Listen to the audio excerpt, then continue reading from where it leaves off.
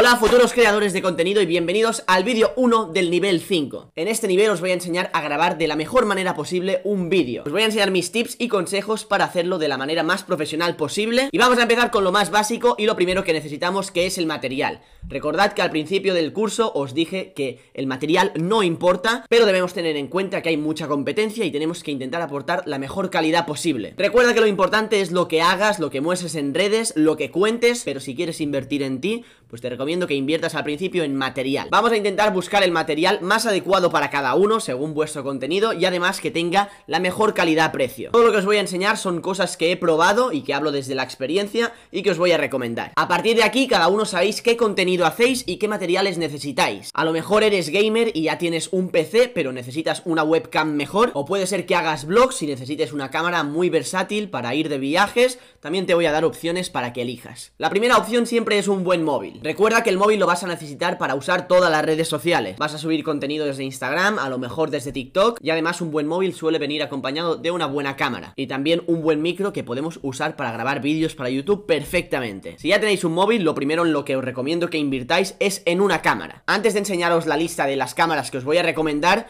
quiero explicaros qué tipos de cámara hay. El primer tipo son las cámaras compactas. No os dejéis engañar por el tamaño, son las típicas cámaras pequeñitas que os pueden servir tanto para vídeo como para foto. Algo bueno de esta cámara es que la puedes llevar en el bolsillo, como si fuera un móvil, puedes llevarla de viaje, es muy versátil y además que a diferencia de una cámara grande no llama mucho la atención, puedes usarla para grabar discretamente. El siguiente tipo de cámaras son las DSLR o las cámaras reflex, las típicas cámaras grandes que tienen un objetivo intercambiable y según el objetivo que elijas vas a tener una imagen u otra, puede ser un objetivo objetivo muy abierto, que se vean muchas cosas, puede ser un objetivo que desenfoque o no el fondo, aunque ese tipo de cámaras suelen ser más caras cuando son buenas. Por último tenemos las cámaras de acción, las típicas GoPros, las cuales están hechas para los deportes extremos o para grabar cosas muy dinámicas, por ejemplo debajo del agua. Error típico, no os compréis una GoPro para hacer vídeos de YouTube y que sea vuestra cámara principal. La GoPro os puede servir justo para eso, si hacéis vídeos en moto, por ejemplo, en bici, o si queréis usar la cámara como una cámara completa complementaria a vuestra cámara principal y así añadir contenido de acción a vuestros vlogs o a vuestros vídeos. Las GoPros suelen tener un ojo de pez, un gran angular, un tiro de cámara muy amplio, incluso que puede llegar a deformarte, con lo cual no te recomiendo comprarla si no tienes otra cámara y para usarla de cámara principal. Os voy a enseñar una lista con distintos rangos de precio para que elijáis vuestra cámara ideal. Son cámaras con una relación calidad-precio muy buena y os voy a enseñar rápidamente un gráfico para que entendáis cómo funciona la relación calidad-precio de estas cámaras. En la parte vertical del gráfico vamos a poner los euros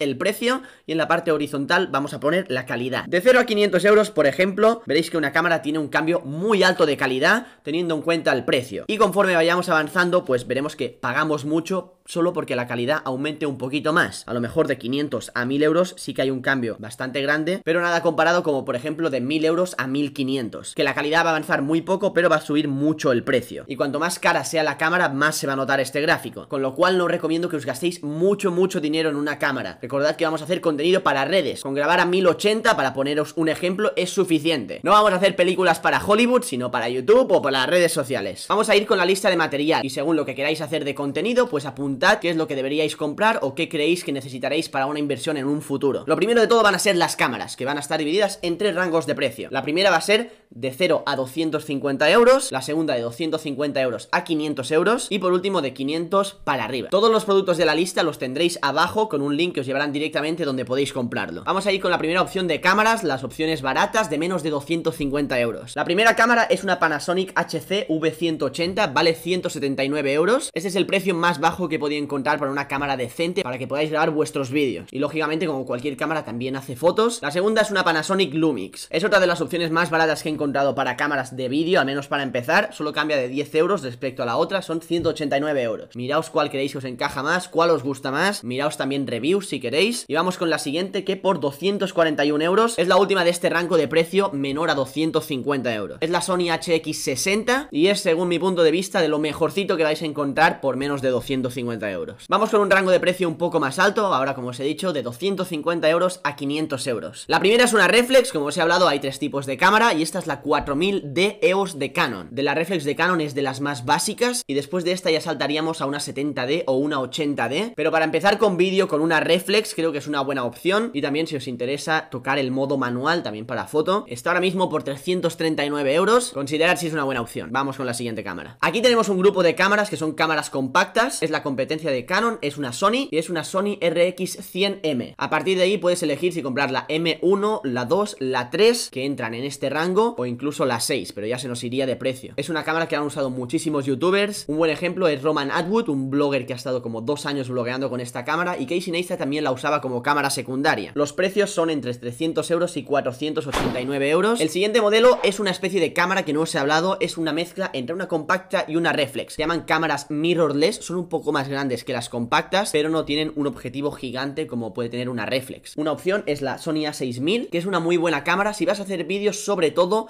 con trípode. ¿Por qué? Pues porque la estabilización de esta cámara no es muy buena. Si vas a bloguear con la cámara en la mano, no te la recomiendo, pero si vas a hacer streams o si vas a hacer vídeos sobre todo quieto, ya sea cocinando, hablando, de lo que sea, está por 470 euros. Y vamos con las opciones premium, las mejores. Este rango de precios es a partir de 500 euros y luego ya pues podéis encontrar cámaras de incluso 15.000 euros. La primera de todas, una de las cámaras más, más famosas de YouTube, es la Canon G7X. La primera opción la encontramos por 500 euros, 509 euros. Y ahora, como en las Sonys, está el modelo 3, la Mark 3 que se llama, que va a mejorar un poco la imagen, la estabilización. Pero este tipo de para bloguear, sobre todo, es muy recomendable. Muy pequeña, compacta, versátil y perfecta para toda la familia. Vamos con la siguiente. Esta cámara es una Sony Block ZV1. Como dice el mismo nombre, está hecha para bloguear. Es nueva de 2020 y tiene funciones mejoradas comparada con las otras Sonys compactas. Por ejemplo, que el micro mira hacia adelante y nos ahorramos problemas como por ejemplo que cuando grabamos en exterior no capte la parte de arriba sino lo que estamos hablando. Luego tiene una pantalla retráctil que se gira por el lado. Tiene un modo de grabación que es como bokeh, que desenfoca mucho el fondo y solo con pulsar un botón se activa ese modo. Y muchas otras cosas que Sony pensó cuando hizo esta cámara para bloggers. El precio es de 760 euros. Vamos con las dos últimas cámaras de los modelos premium, los más caros. La primera es la Canon 80D. Es una cámara que he usado yo durante varios años en YouTube. Y es una cámara que usan muchos youtubers. Os voy a poner un ejemplo. Spursito graba con esa cámara, X-Buyer también. Puedes cambiarle el objetivo al ser una reflex y ponerle el objetivo que más se adapte a ti. Y la cámara está por 1000 euros con el cuerpo. Puedes encontrar algún kit que venga con una lente básica, un objetivo básico. Y por último vamos con la competencia. Otra vez la Sony. La familia de la Sony Alpha, desde la Sony Alpha 1 hasta la 3, es una muy buena opción, pero también muy cara para grabar vídeo. Es de las mejores reflex que hay, sobre todo para vídeo, porque por ejemplo Canon también toca un poco el tema de fotografía y los precios también van de 1000 para arriba. Una vez hemos hablado de cámaras, vamos a ir con sus hermanas, que son las webcams. Las webcams os interesarán si sois streamers o si hacéis gameplay sobre todo. Voy a ir rápido para no enrollarme mucho. La primera webcam se llama Aukey Webcam 1080. Cámara básica y bastante accesible si quieres hacer gameplays o streams. La segunda, una webcam que ha usado todo el mundo, de hecho yo la uso para hacer mis streams de vez en cuando, y es la Logitech C920. Ronda por el precio de los 100 euros y para ese precio la calidad es muy buena y da muy pocos fallos. Y por último, una versión mejorada superior a la C920 es la Logitech Brio Stream. Como dice el mismo nombre, está especializada, son 300 euros, pero si os vais a dedicar a streamear y sabéis que va a ser una buena inversión, es la mejor cámara que hay. Seguimos con los micros, hay cuatro tipos de micros y los hemos dividido de la siguiente manera. Los micros que van encima de la cámara, los micros de solapa que van pegados a la camiseta o por dentro, los micros de mesa, de sobremesa y por último los micros que están integrados en un auricular. Os digo que hay una marca muy famosa de micros y se va a repetir en todas las secciones y es la marca Rode. Para micro de cámara, para la reflex sobre todo, la primera opción se llama Rode Video Micro y es de 50 euros. Es un micro pequeñito que por el precio tiene una calidad bastante buena. A partir de ahí subiremos la calidad y el nivel del micro con la misma marca. Este micro es el mismo que el anterior, pero la versión Go. El precio sube un poco más, pero es un micro alargado. Personalmente, por la diferencia de precio, si no os interesa un micro muy pequeño, yo elegiría este. Por último tenemos la versión Pro o Pro Plus, que una es de 150 euros y la otra de 300. La diferencia entre uno y el otro es que el Plus lo puedes cargar con un cargador de móvil normal. Es el único que va con pilas, pero es bastante superior al Go. Vamos con los micros de solapa. El primero, que son solo 22 euros y es micro especializado para iPhone, por si hacéis vlogs con el iPhone, os va a mejorar mucho la calidad de audio, es el AGP Tech. El segundo es de la marca Rode, otra vez, y se llama Rode Micro Lavalier, que este nombre es el tipo de micros de solapa, y el precio es de 64 euros. Y por último tenemos el Rode Wireless Go, un micro que uso yo incluso, y a diferencia del anterior, el cambio de precio es porque puedes usarlo a distancia de la cámara. Tiene un emisor y un receptor, y no tienes que estar conectado con el micro a la cámara con el jack. Vamos ahora con los micros de estudio. Si hacéis stream, son los micros que más os van a interesar.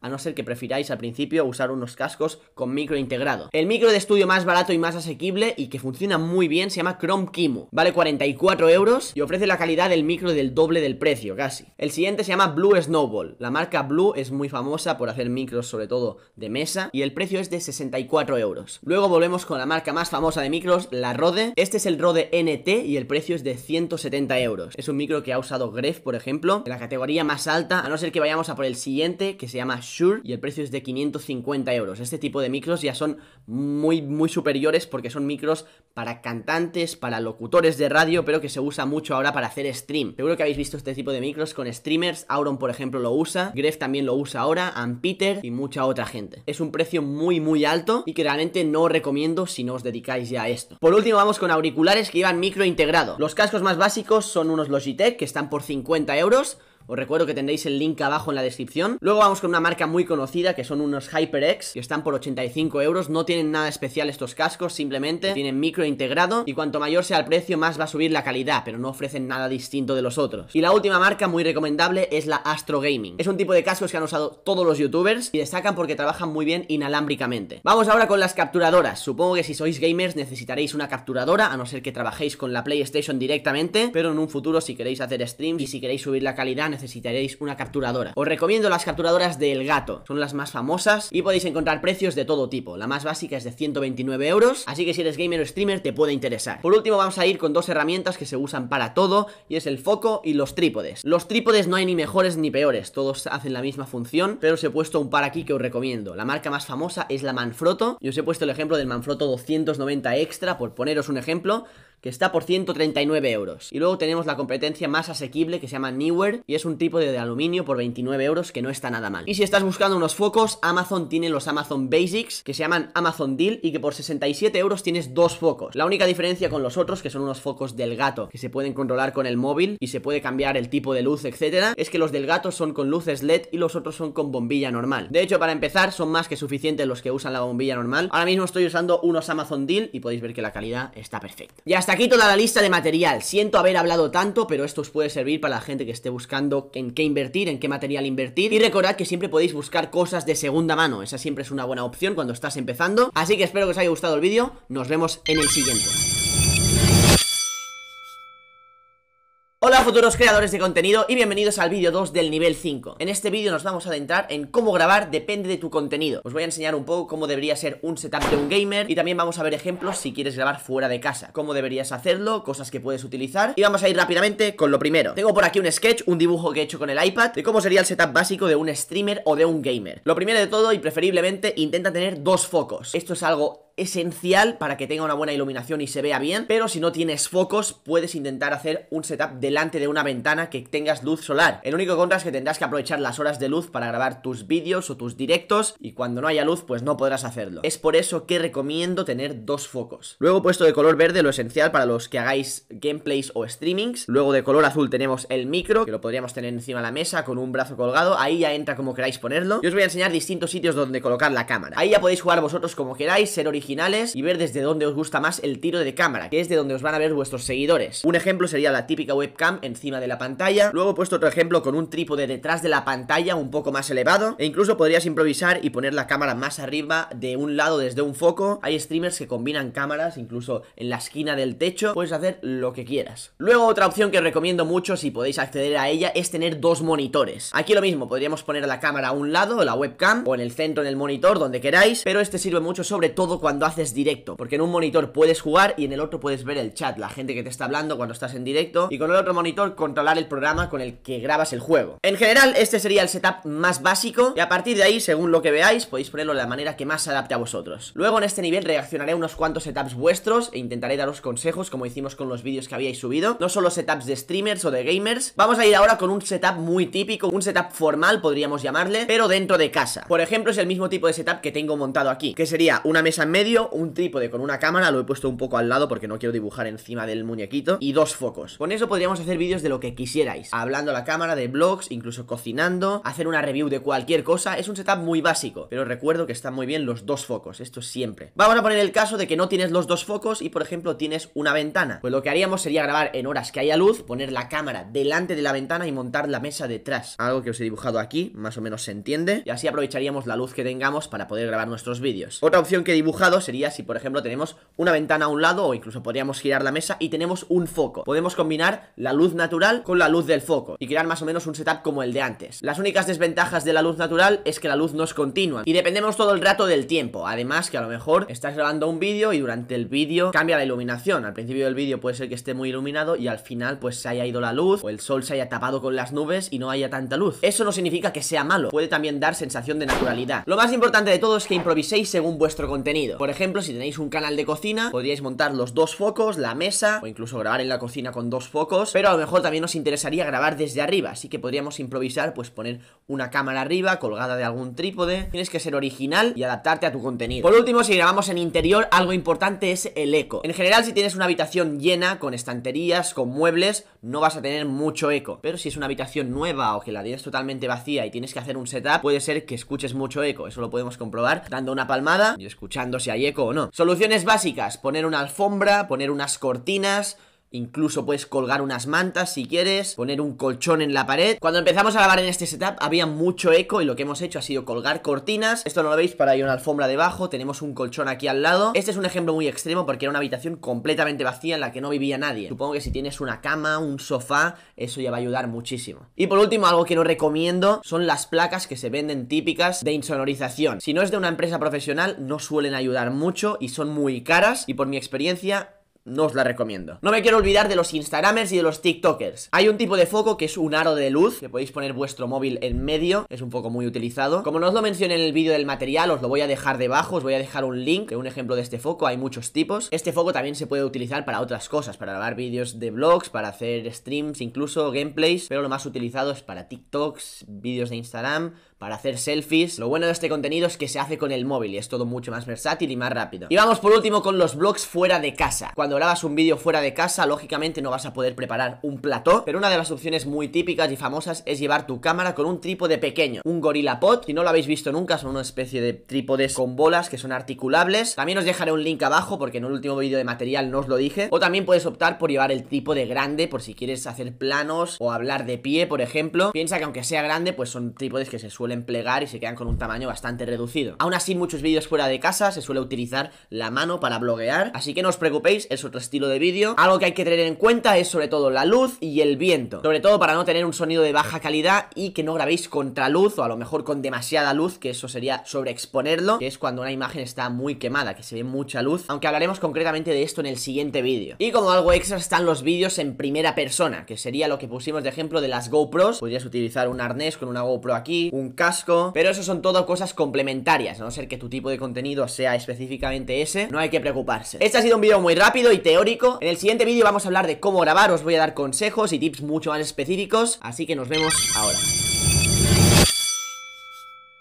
Hola futuros creadores de contenido y bienvenidos al vídeo 3 del nivel 5 En este vídeo vamos a hablar concretamente de cómo grabar, cómo configurar los parámetros de tu cámara. Vamos a hacerlo de una manera muy general para que no importe qué tipo y qué modelo de cámara tienes. Y te voy a dar tips y consejos personales para que los puedas aplicar. Lo primero de todo, antes de hablar de cámaras, vamos a hacerlo con el móvil. Si estás grabando con el móvil y tienes una buena cámara en el móvil, no te preocupes Puedes seguir haciendo vídeos con él, pero asegúrate de que está bien configurado. Es decir, que estás grabando a la resolución adecuada, que lo mejor sería 1080 que estás grabando a los frames adecuados, a 30, a 50 o a 60. Ahora más adelante veremos cuál es más adecuado para qué tipo de contenido. Seguramente mucho de esto ya lo conocéis, pero no olvides que para grabar para YouTube tienes que grabar en horizontal. Ten en cuenta que el micrófono de los móviles a veces tiene baja calidad. Ya os enseñé alguna opción de micrófono para el móvil y que así mejore el audio. Y luego recuerda que el mismo móvil seguramente te da prestaciones como por ejemplo hacer cámaras rápidas automático, también cámaras lentas, así que puedes jugar con todo eso. Son herramientas que ya vienen con el móvil de serie y que te lo ofrece para hacer automáticamente, así que vamos a aprovechar Una vez dicho todo esto, vamos con las cámaras. La primera opción, tengas una cámara compacta o una cámara reflex, siempre es grabar en modo automático. Mucha gente, por ejemplo, si te compras una cámara reflex, te va a decir no uses el modo automático porque la estás desaprovechando. Pero todo depende del contenido que grabes. Si, por ejemplo, estás grabando vlogs, no hay algo mejor que un modo automático, porque no vas a tener una luz fija, vas a cambiar de sitios en cualquier momento, vas a grabar distintas cosas y lo que necesitas es que la cámara actúe rápido. Y lo va a hacer mucho mejor la cámara automáticamente que tú retocando, y mucho más cuando estás empezando. Pero si no es el caso y quieres aprender el modo manual, te voy a enseñar por encima cuáles son los parámetros básicos que deberías saber tocar y configurar para tener un buen vídeo. Quiero resaltar que esto no es un campus de fotografía ni de vídeo, ya sabéis que hay mil vídeos tutoriales que podréis aprender cosas específicas, lo que queráis, y además que tenemos una comunidad de este campus que también podemos resolver dudas. Pasaremos vídeos que complementen todo lo que enseñamos en el campus y que también os ayuden a mejorar, así que no os preocupéis. También recordad que todo es cuestión de práctica y que con el tiempo iréis entendiendo todo. No os preocupéis por el modelo de cámara que tengáis, lo que voy a hablar es algo general,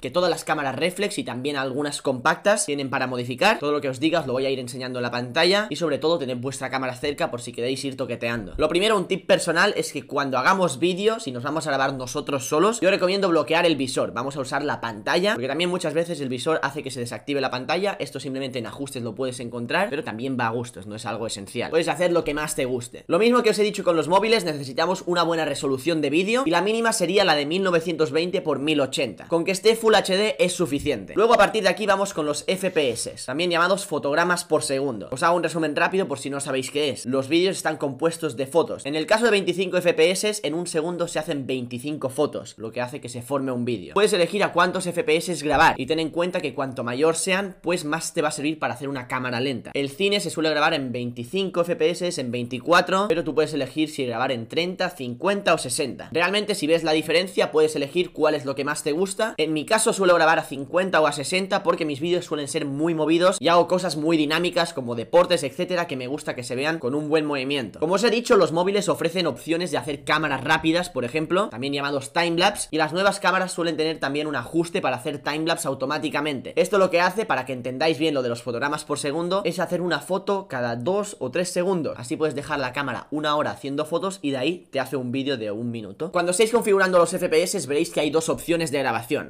llamada NTSC y otra llamada PAL.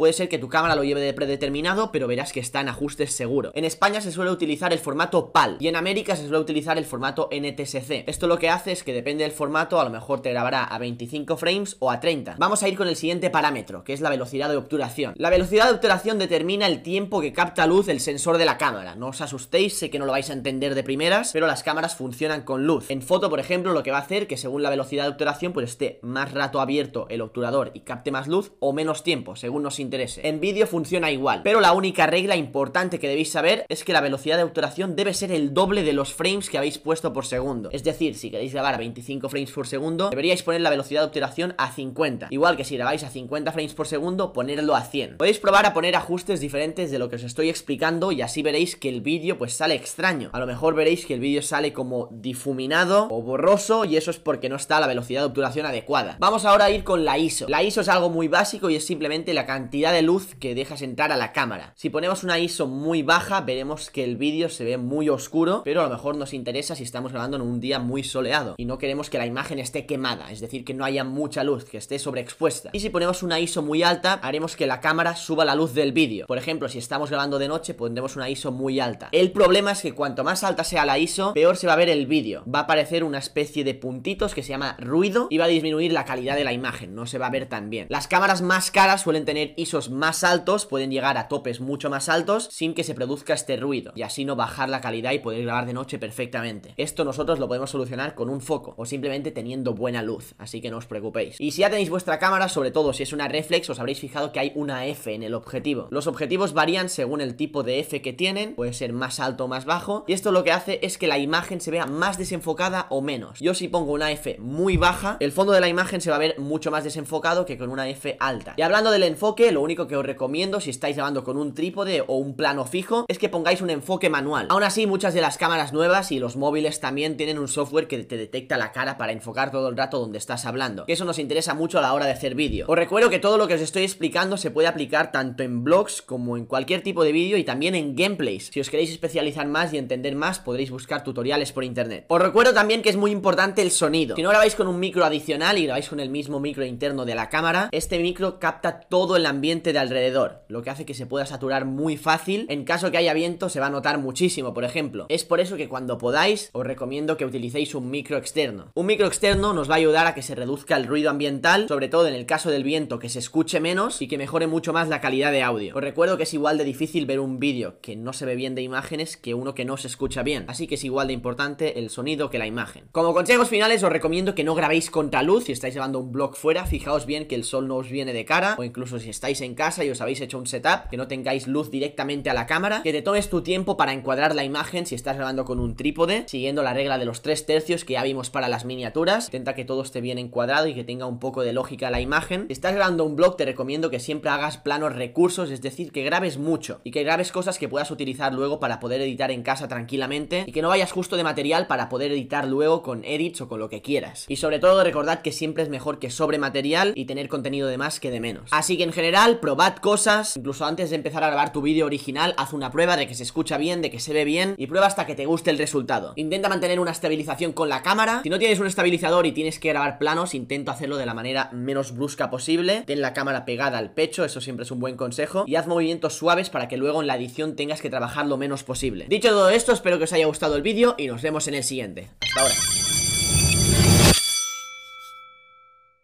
Hola futuros creadores de contenido y bienvenidos al vídeo 5 del nivel 5 Como decimos en un nivel anterior voy a reaccionar a vuestros setups y a qué usáis para grabar. Os he pedido en la cuenta de Instagram de Neil Campus que me enseñarais cómo grabáis Tanto vuestro setup, cómo tenéis todo preparado Y me habéis pasado bastantes vídeos en oculto por YouTube sobre todo y también alguno por Instagram. Así que vamos a seguir la misma dinámica de la última vez Voy a ver los vídeos y os voy a aconsejar siempre de manera constructiva Y espero que los que estéis viendo esto uséis los consejos que voy a dar para todos y los adaptéis a lo que estéis haciendo vosotros. Vamos con el primer vídeo, se llama Marévalo el chico, así que ve.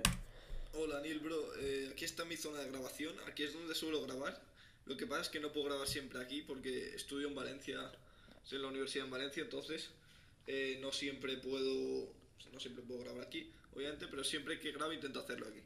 Aquí está la Play, la camarita esta y todo por si hay que hacer directos y tal. Bueno, vamos a comentar lo principal. Lo primero que he visto es que no tienes focos. Tampoco me ha quedado muy claro si el setup principal que usas es el del ordenador, donde tienes el volante y el sillón. Pero lo único y lo primero que veo es que faltan unos focos. Falta buena iluminación, pero si no quieres comprarte unos focos, tienes la ventana al lado. Así que si sueles hacer directos, por ejemplo, en la esquina donde el setup Aprovecha la ventana y tendrás luz. Y luego algo a destacar, supongo que lo habréis escuchado, es que utiliza una GoPro para hacer directos, creo, y para grabar. Si tienes una GoPro y quieres hacer directos, yo de ti me la vendería y buscaría comprar una webcam y combinarla con los focos. Con eso tendrás iluminación perfecta, pero también tienes que centrarte en qué contenido quieres hacer, si quieres hacer directo jugando con el sillón y el volante o si quieres hacer directos de lo que sea desde el escritorio. Esos son los consejos que te doy, vamos al siguiente vídeo. Bueno, yo soy Y tengo un canal de YouTube donde de vez en cuando subo vídeos. Yo en este ordenador escribo mi guion, me monto mis propias películas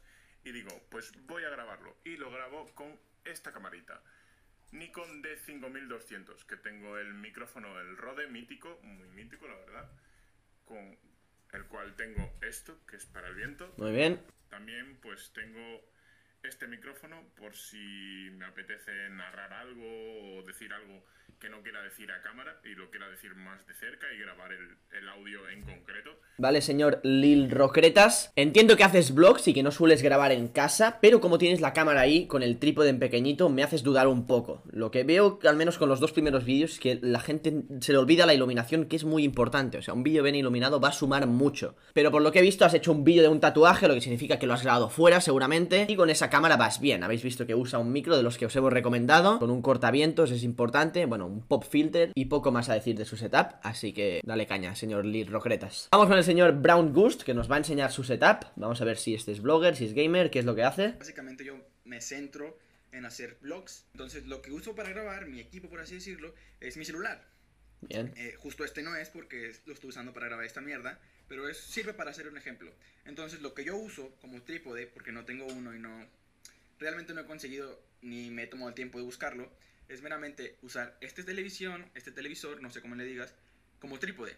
Me explico. Para que el teléfono se aguante aquí. Está ok, más, ok, bien. Pues. Nosotros eh, usamos una botella una vez para hacer un vídeo, así que... Cinta. Cinta ¿Vale? entonces, una vez que ya está justo la cinta así, al, al centro del celular para no tapar la cámara, uso como fuente de iluminación esta, este ventanal.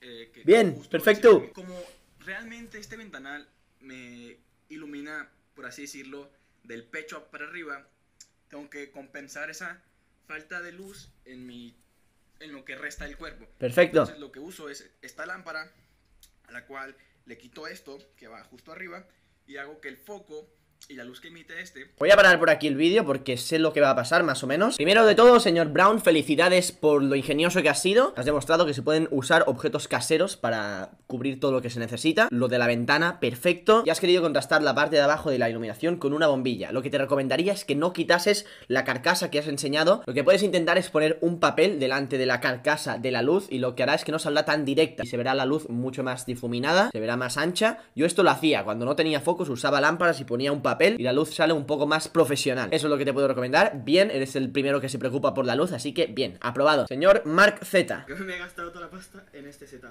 Vale, bueno, ok, ok. Eh, tengo esta torre. 1100 euros de, torre, o sea, muy, muy, to- muy tocha. Lo que no entiendo es que te hayas gastado tanto dinero con el PC y, y- y no tengas una cámara. Estás grabando con el móvil. Gasta, eh, invierte mejor. Tengo esto aquí, más o menos de decoración, esta camarilla por aquí, Vale, bueno. los cascos aquí en el HyperX, Logitech, New Skin, el mando este porque juego con mando. Lo que he visto es que tienes muy buen setup. No sé si te dedicas a hacer streaming o si grabas gameplays. Pero cómprate una cámara, necesitas comprarte una cámara Veo que te has podido comprar un buen setup, un buen ordenador Así que administrate bien Así que invierte en una cámara, sigue los consejos del campus y empieza a hacer vídeos Vamos a ir con el siguiente Vale, dos monitores, lo que os hemos explicado con los dibujos Para cuando hago directos. Fondo de pantalla lo he hecho yo, digitalizando una foto mía. Teclado de Razer, el ratón también. PC que lo tengo hace no mucho, la verdad. Bueno, hay unas fotos. Aquí tengo la cámara, la webcam. Vale, bien, veis que lo ha puesto arriba a la derecha, o sea, le gustará ese tiro de cámara. Lo que estoy viendo es que a lo mejor le falta iluminación también. Puede ser que le guste el fondo oscuro y tal, pero por si acaso yo tendría un foco. Por si un día quieres cambiar un poco la iluminación y, y no estar streameando a oscuras, yo pondría un foco. Estamos viendo que los fallos más típicos es todo el rato lo mismo, iluminación, iluminación, iluminación. Y vamos con el último, que es de un blogger completamente, no tiene setup, o sea, nos va a enseñar todas las cámaras que tiene y nos va a explicar cómo graba, en teoría. Hola, yo soy Pablo Arquero y bueno, ahora te voy a explicar por qué tengo este estudio de edición, este, este equipo de grabación y en tres años que he estado editando y grabando, pues eh, he conseguido eh, tener este equipo grabación, edición... Vale, vemos que tiene bastantes cámaras, tiene incluso la GoPro que la usará como algo complementario. Muchos proyectos con raperos de alto ranking, con marcas, con empresas. Y bueno, yo la verdad es que estoy bastante orgulloso de haber conseguido esto porque tengo una Canon EOS M50 eh, que graba 4K. Esto que lo utilizo ahora bastante, esta GoPro Hero 4 para hacer making ofs en YouTube. Esta es una Nikon de fotos. Esto pues es una cámara sencilla pero que tiene un zoom brutal. Esto es un tipo de cámaras que os recomendamos también en el, en el vídeo de material. Tres baterías, un estabilizador Y este supongo que es el setup que tiene de grabación. Que si nos fijamos, o sea, desde la cámara se verá algo súper profesional seguramente, pero están en un salón normal o en un garaje y han montado, bueno, pues el fondo negro, eh, el trípode está puesto encima de una caja, así que es otra vez lo que os decía, intentar ser originales y ingeniaros cómo poder hacer lo mejor posible con lo que tenéis. Así que espero que os haya gustado el vídeo, espero que os haya servido también. Ponemos como punto más importante de este vídeo la iluminación, que muchos fallan con eso, así que intentad no cometer el mismo error e intentad invertir en eso, que estamos viendo que es algo que la gente se olvida mucho y os digo que aporta una gran calidad al vídeo. Tanto si es para YouTube, como si vas a hacer streams, como si vas a hacer un TikTok. La iluminación siempre es lo primero. En este espacio tan pequeño utilizamos tres focos para iluminar la cena. Así que poco más, nos vemos en el siguiente vídeo. Hola a todos, futuros creadores de contenido, y bienvenidos a una entrevista muy interesante con un buen amigo y con un gran youtuber llamado Clavero. Hola, señor Clavero. Buenas tardes, noches. ¿Todo bien? ¿Todo bien? Vale. Te voy a comentar un poco. En este nivel hemos hablado sobre todo de los tips y consejos para la grabación. He estado dudando bastante de dónde ponerte, cómo encajarte, porque también hay un nivel de edición, lógicamente, pero hemos tirado más por meterte en este nivel. Primero de todo, intenta presentarte, hacer un resumen de qué eres, qué haces, cómo te defines. Bueno, yo soy Pau Clavero, tengo 22 años y hace ya tres años que me dedico a la plataforma YouTube barra redes profesionalmente y mi contenido ha ido variando durante el tiempo, pero ahora está sobre todo centralizado en vídeos de viajes, reportajes, documentales sobre culturas, todo bonito, intentando hacerlo lo mejor posible y un poco sobre eso, fotografía también, bla, bla. Vale, llevas tres años que vives de esto, o que te dedicas a esto. Sí, exactamente. O sea, subiendo vídeos como todos, llevamos infinidad de años desde que somos críos, pero de alguna manera profesionalizado desde que, digamos, vivo de esto, ahora ahora tres años. Vale, y típica pregunta, o bueno, ¿quién te inspiró en subir vídeos o te fijaste en algún referente, al menos cuando empezaste, ¿sabes? Hace tantos años. Y luego si tienes algún referente actual que la gente pueda conocer o explicarlo, también sería interesante. Claro, cuando empecé, me refiero, como muchos de nosotros subíamos vídeos de videojuegos. Entonces, ¿Tú también? Yo también. No lo sabía, ¿eh? Y, y tanto, ¿En bro. serio? Y tanto. Entonces, mis referentes, pues vienen desde Willy Rex, toda esta peña que empezó con todo esto, cuando nos presentaron un poco lo que era esta plataforma, ¿no? Porque al final antes pff, no subía nadie nada, un contenido seguido. Así que supongo que mis principios vinieron de ahí. Y hoy por hoy hay mucha gente que me inspira. Creo que hay mucha gente en la plataforma con muchísimo talento. Ahora mismo no sabría decirte quién ahora mismo. No tiene que ser español, o sea, bueno, supongo Sí, que ya claro, claro, claro. obvio, pero... Me refiero, está claro que me he visto influenciado de muchos youtubers, sobre todo americanos o de fuera de España, porque digamos que siempre van un poquito por delante. Eh, Casey Neistat en su momento, evidentemente, creo que nos influenció a todos a la hora de hacer vlogs. Y también más adelante me inspiró muchísimo el contenido de Sam Colder a nivel visual. Me gustaría saber si en tu caso has estudiado algo relacionado con el tema audiovisual antes de empezar en YouTube o a medias o si has tenido algún caso igual. Sí hice algo, o sea, no, es- no llegué a estudiar como ni un grado, ni estudié ninguna carrera, ni empecé, pero hice un bachillerato de artes audiovisuales. O sea, en vez de hacer dibujos, hacíamos clases como, pues eso, dirección, edición de vídeo. Así que digamos que mis dos años de bachillerato estuvieron relacionados al audiovisual. Luego de bachillerato empecé con, con mi carrera, digamos, seria de YouTube. Actualmente haces muchos viajes y supongo que cuando tienes que grabar un vídeo y vas a hacer un viaje largo, vas muy cargado de material y vas preparadísimo. ¿Eso siempre ha sido así o...? Bueno, evidentemente todos empezamos con un material básico, ¿no? Ya sea una cámara sencilla, yo empecé con una reflex de la gama más baja, donde pues bueno, pues teníamos nuestro 1855 básico típico de todo el mundo. y con eso tenía que Vale. tirar. Creo que todo el mundo ha de empezar por eso, por esa base, tener su cámara y su ordenador que tire lo que pueda para poder eh, cortar esos clips y de alguna manera juntarlos. Ahora sí, ahora voy más cargado de lo que me gustaría. Vale, te hacía la pregunta para justamente eso, preguntarte si hay algo, ya sabemos que una cámara es necesaria, lógicamente, para poder editar, pero algún material que creas que si pueden invertir en ello antes que algún otro, ¿lo recomiendes? Sí, creo que la gente no se fija mucho en eso, pero que al final el espectador sí es en el audio. Yo creo que es algo que la gente pasa muy por encima, pero que no te cuesta prácticamente nada comprarte el micrófono barato de Rode, por decirlo de una manera, que vale, que vale 40 euros, 50 euros, no vale mucho más, y si lo encontráis de segunda mano probablemente 20 euros. Con eso podéis empezar vuestra carrera, pero vamos, dos, tres años seguidos, y vais a notar muchísimo cambio. Sobre todo el espectador lo va a agradecer a la hora de escuchar vuestros vídeos. Porque es eso, la gente se fija mucho, yo que sé, en comprarse una cámara y lo primero que te viene a la Un cámara... objetivo... Comprarte una cámara y lo primero que te viene a la cabeza es comprarte dos focos, comprarte un objetivo. Man, yo tengo un foco de mierda. A ver, sobre todo si vas a hacer vídeos fuera de casa. Claro, si te pones a hacer gameplays o streams, pues Claro. claro que necesitas una buena iluminación, Evidentemente, sí, sí. pero tened en cuenta que es que es igual de importante el audio que el vídeo. Sí, sí, sí, sí, 100%. O sea, si vais a poneros a hacer stream, pues os compráis el microcondensador que valga 40 euros, os aseguro que va a grabar mejor que vuestra webcam. Entonces, sí, es fijaros en esos pequeños detalles. La cámara es importante, pero el audio también. De ahí el audiovisual, ¿no? Pum. Directo. Me acuerdo de hace tiempo de un vídeo que subiste que era haciendo un blog con una cámara, creo que era súper antigua, puede ser, y mucha de la gente que esté empezando y esté siguiendo el campus seguramente van a grabar con el móvil o con la cámara más básica a la que puedan acceder. En el campus hemos dado bastante importancia a que la gente acceda al material mínimo que puedan para hacer vídeos, pero que tampoco es tan importante. ¿Qué opinas de eso? Yo creo que al final lo importante, evidentemente, es el contenido, el entretenimiento de este contenido, la forma en la que se edite para que de alguna manera ese vídeo sea dinámico, sea entretenido. Nos centramos demasiado igual en que la imagen sea 4K, esto se vea desenfocado, súper guapo. Pero es un hecho que, si es verdad, que yo hace un tiempo, mucho tiempo, hice un vídeo con una cámara de mierda, o sea, una cámara vieja, 3 megapíxeles creo que tenía, se veía A ver, se veía muy mal. Ese, ese se veía muy mal. Se veía ¿sabes? muy mal, es, una, es, Pero- es un ejemplo de exageración. Pero es que con las cámaras normales que tienen un móvil se puede hacer vídeos perfectamente. Claro, es lo que digo. Al final ese vídeo estaba bien porque el contenido estaba bien y ese vídeo funcionó muy bien.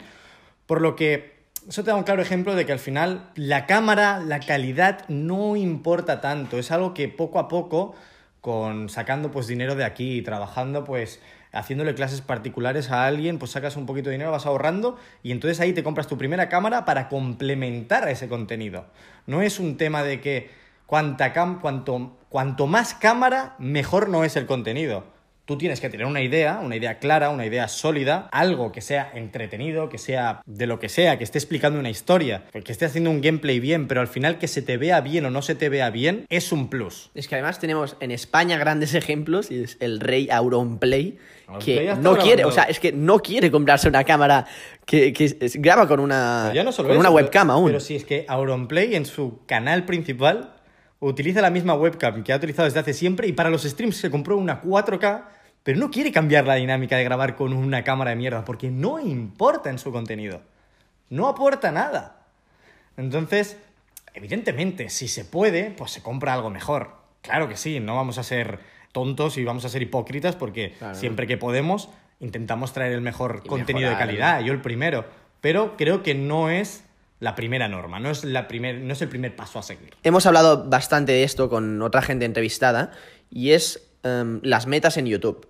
Hay algunos youtubers que he preguntado cuáles eran sus metas en YouTube y alguno me ha dejado claro que, pues, por ejemplo, se conforman a lo mejor algunos con haber llegado a una cantidad de suscriptores como el millón o que será su meta más importante y a partir de ahí van tirando. O en mi caso incluso dije que a mi meta no eran números sino hay algunas otras cosas que tenía planteadas. Quiero saber en tu caso ya pregunta más personal como youtuber a qué aspiras que de corto plazo a largo plazo cuéntame un poquito. Creo que a corto plazo me gustaría ver mi canal crecer. Ya por un tema personal, de decir, he creado un trabajo, he creado un contenido que creo que está hecho para todos los públicos, para que la gente se enriquezca con, con mis vídeos, por decirlo de una manera. Me gustaría llegar a un público mayor, no te diría una meta de suscriptores, sino ya un tema de, de crecer en audiencia y que más gente pueda ver ese contenido.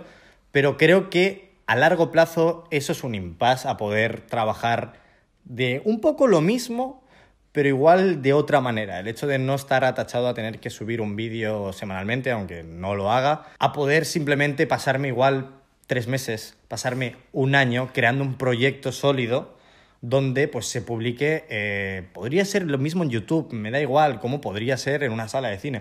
Eso me encantaría. Hablo de un largometraje, una película o como un documental realmente bien hecho y con unas buenas fundamentos periodísticos.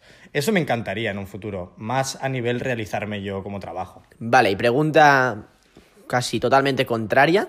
Si pusiéramos el caso de que no te dedicaras a las redes o a YouTube o a nada con el vídeo, o bueno, ¿qué harías? ¿Qué te gustaría hacer o qué crees que hubieras tirado si no hubiera aparecido esta situación? Claro, pero puedo seguir haciendo cosas. Puedes hacer vídeo, pero Vale.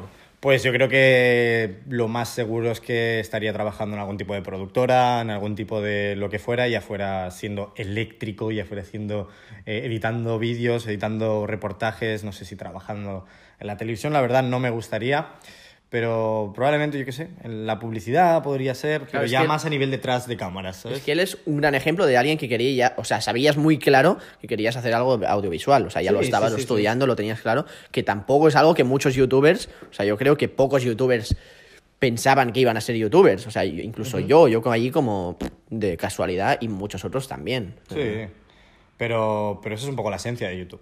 De Sí. gente que crea y que finalmente pues llega a un público, pero que su intención tampoco era llegar al público.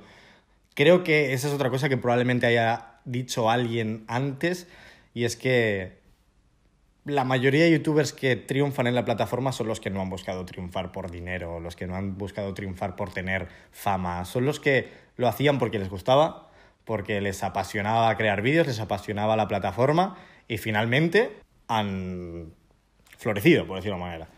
Pero, pero es eso. Y por último, para ya cerrar, luego si quieres puedes hacerme alguna pregunta, me gustaría saber la mejor experiencia que este- has tenido gracias a YouTube. Hombre. O sea, perdón por contarte, que no creas que hubieras tenido si no te dedicaras a esto, ¿sabes? Para ser más concretos. Hace unos años te podría decir alguna en específico, ¿no? Pues yo que sé, alguna anécdota cuando iba a sitios abandonados, que fuera divertida o alguna cosa así. Pero es que hoy en día, cuando de repente cambié a mi contenido de viajes, es que ya YouTube me hizo poder vivir de viajar. Y creo que eso es algo que muy poca gente en el mundo, ya no te digo del sector, en el mundo puede hacer. Y para mí era un sueño cuando era Es que pequeño. literalmente tu trabajo es el, Viajar. el cambiarte de sitio y hacer el vídeo ahí. Sí, es sí. viajar, es, Es viajar, es descubrir nuevas culturas. Al final, sí, los vídeos van de unas cosas, pero detrás de cámaras, pues se viven de puta madre experiencias, se viven cosas muy guapas. Hay mucho curro, eso, eso hay que también decirlo, me refiero. Cuando la gente ve detrás de una pantalla a alguien viajando, pues yéndose a Vietnam, luego a Egipto, luego a Islandia, Dice, luego "Nah, mira, este a Estados la Unidos", dice, cámara. joder, ya me gustaría tener esa vida. No, hay mucho curro, pero también hay mucho disfrute. Entonces yo creo que en esta pregunta, en mi caso, es un poco eh, generalizar el hecho de, coño, poder estar viviendo eso. Ahora porque, bueno, estamos parados por una pandemia global. Mundial. Pero antes de esto, tío, yo viaj yo, yo vivía de viajar. O sea, ya con eso para mí es Sí. una de las cosas que no hubiera Vale, podido te quiero hacer pregunta extra que se, se me ha ocurrido ahora mismo. ¿Cómo te, si tienes un viaje, cómo lo organizas? ¿Cómo planteas para grabar un vídeo? O sea, ya vas con la mente estructurada, miras los días y apuntas qué vas a hacer, te sale ahí al momento, improvisas, ¿cuál es tu planteamiento? Pues es algo con lo que he ido mejorando poco a poco. Igual que todos, eh, al principio lo planteamos todo de una manera y luego te vas dando cuenta de tus errores, que creo que yo tengo un montón. Yo al principio me centraba muchísimo en que el vídeo se viera muy bien, en que hubieran planos muy guapos, hasta que me di cuenta de que mis vídeos estaban vacíos. Que al final eran muy bonitos, pero no estaba explicando nada o lo que explicaba no lo explicaba bien. Entonces, antes te diría, pues me voy a la aventura e improviso y saco unos buenos planos. Y ahora no. Ahora leo mucho, eh, intento pues eh, buscar temas interesantes, contacto con gente de allá para encontrar contactos que conozcan historias que nos hayan contado públicamente. Realmente es algo que no he dicho yo porque yo no me di cuenta hasta que alguien externo me lo dijo. Un poco intento hacer, entre comillas, el trabajo de un periodista. El hecho de investigar a fondo, hablar con Pepito, que Pepito habla con José, que José habla con Wang Chu, que tiene una historia en la esquina de China, que su familia toda la vida han utilizado los caracoles para hacer carreras. Yo qué sé, engaño, Tío, se han ido cosa. liando, pero sí, se han Cualquier cosa, me. Entonces, me organizo esa parte. Luego, pues ya el itinerario me cuesta mucho. Yo, que me cuesta mucho. Yo voy mucho a la aventura en ese sentido. Pues eso ha sido todo. No sé si tienes alguna pregunta preparada para mí. Si la tienes aquí al momento, la voy a responder del tirón, para que no haya cortes. Te voy a hacer una pregunta un tanto profunda de algo que creo que ocurre mucho en la comunidad en la que vivimos, que no se expresa al exterior y creo que es algo que si alguien quiere entrar en esta plataforma ha de estar preparado a que pase, A porque creo que nosotros no lo estamos. Si en el día de mañana tu canal empieza Fallecer. A fallecer fuerte, empiezas a bajar seguidores así, sin razón alguna, simplemente porque la gente ya no quiere Ni lo head. ni lo jeda, ¿qué harías? ¿Y tú? No, porque es algo muy real. O sea, hay gente que se deprime cuando de repente su vídeo no llega al millón de visitas que estaba acostumbrado. Es algo que ha pasado a nuestro alrededor continuamente. Y la gente se deprime. No te estoy diciendo que la gente se ponga triste o se enrabie y diga, ay, es que la gente no. La gente se deprime. Hmm, Eso es, es algo que es difícil incluso enseñar, para que mm, estaría bien enseñarlo en el campus, pero es que es algo que puede pasar. Claro, ¿Y cómo te preparas para eso, sabes? O... Porque es como que te sientes de repente que has fracasado, pero igual simplemente es que, bueno, que tienes que innovarte o que, yo qué sé, o que Claro. tienes que cambiar. pero la gente, mucha gente de la plataforma no está preparada y cuando de repente bajan de visitas, que parece una tontería hablado así, pero, pero realmente es, es un problema. La gente se acostumbra a unas visitas, ya no te hablo de un dinero, te hablo de una atención. Sí, sí, sí. Y es un Porque problema es un muy número, grande. realmente, que ni asimilas que un millón de visitas es un millón de personas. Bueno, o será medio millón de personas, pero que al fin y al cabo hay vidas detrás de los números esos y ya lo ves como algo, un, algo, un, un Vale, material. Te voy a cambiar la pregunta, A- va por el mismo estilo, pero ¿te obsesionas con los números? O sea, ¿eres de los que está mirando las analíticas para ver si tu vídeo a las dos horas va igual que el anterior o está yendo peor? Efectivamente, sí. sí, y además creo que ya lo, lo hemos hablado un poco y todo lo que enseño en el campus es pues poder soltar esta pequeña obsesión que tengo de la manera buena para la gente, para que pueda aprender y se... O sea, es algo que me gustaría mejorar, ¿eh? Porque... Claro, claro. ¿Cómo se hace eso? Bueno, no lo sé. Y, y lo que decías también de los altibajos, em, con el tiempo también lo he aprendido a vivir, porque, Sí, sí. por ejemplo, en mi propio caso, empecé por las nubes, luego también bajé un montón, luego ha vuelto a subir, han sido un montón de, de rachas y supongo que tú también. Creo que es algo que nos pasa a todos, hemos vivido sea- todos. Y mm, respondiendo a la otra pregunta que me has hecho al principio de qué haría, supongo que, a ver, con el tiempo que he estado aquí trabajando, podría intentar tirar de contactos de gente que he conocido para poder buscar algún trabajo que más o menos Pero lo me estás dejando. me gustara. Lo estás dejando. ¿Cómo que lo estoy dejando? Pues yo te estoy diciendo que estés falleciendo como contenido, no que te vayas a la mierda. No que de repente nadie quiera ver tus vídeos, simplemente que pasas de tener 800.000 visitas al día siguiente tener 100.000. ¿Qué haces? 50.000. Exacto, 50.000, porque 50.000 Ya Suena 50.000 ya sufres, al menos cuando estás ya un, tan arriba. No sé qué haría, ¿eh? La verdad. Tengo mis estudios para poder a lo mejor buscar algún trabajo que me gustara, pero bueno, tendríamos que sufrir. Pues yo os voy a dar la respuesta final, chavales. Innovaros. Si las cosas van mal, innovaros, cambiar, hacer las cosas mejor, hacer un estudio de vosotros mismos y plantearos cambiar lo que hacéis o al menos plantearlo de otra manera. Si vuestras visitas no son las que eran antes, no es que la plataforma falle, es que igual eres tú el que falla. Te voy a aplaudir, ¿eh? YouTube no es tan malo. Grande, grande. Gran entrevista, señor Clavero. Muchísimas gracias. Espero que os haya gustado y que os haya servido y que podáis aplicarlo también a todo lo que hagáis. Así que nos vemos a la próxima.